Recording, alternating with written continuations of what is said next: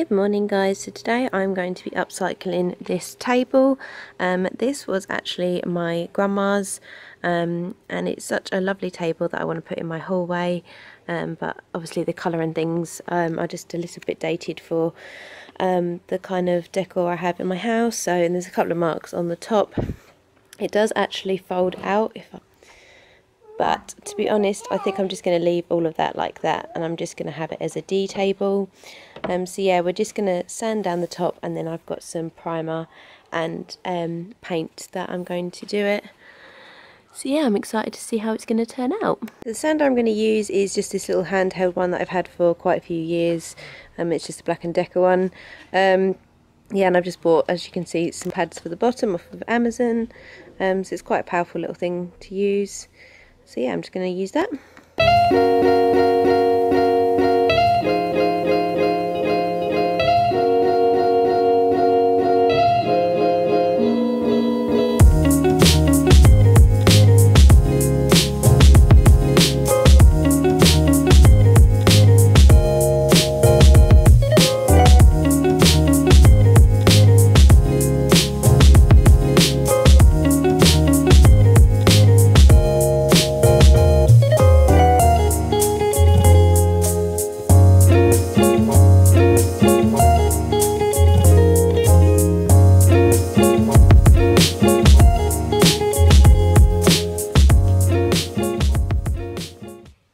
As you can see it's now all been sanded so it just removes any shine. So once I now put the primer on that should make the paint last um, and stay on there a lot longer. So I'm still debating whether to paint the top. Um, I'm not sure whether to paint the whole thing to keep the top just as a wood effect. But we will see so this is the primer I got. As you can see, I got it from Wilkinson's. Um, and it says for furniture and for cupboards. Um, so yeah, I thought I'd give this a go. I haven't tried, and it also says that it's touch dry within 30 minutes, and it's just the colour white. But I haven't used it before, but I thought I'd give it a go. And then this is the um, furniture paint I'm using, which is also from Wilkinson's. It's basically I think the same as the primer um, and it is in the chalk white and it says touch dry within an hour so again I haven't tried this one but I thought it would be good and it just says it's for wood and MDF and things like that so hopefully this should be um, it, it, should look really nice um, and have a nice finish to it.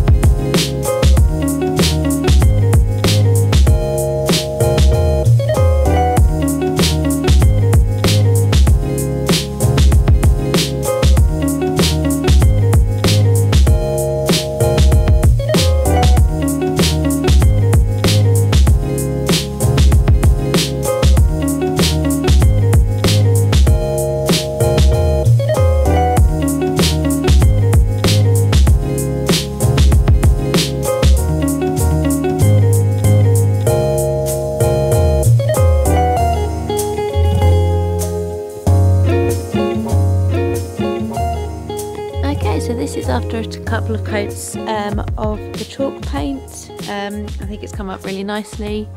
Um, yeah, it seems to have covered really, really well. As you can see, I've just got to take off the masking tape, so hopefully that should all be okay.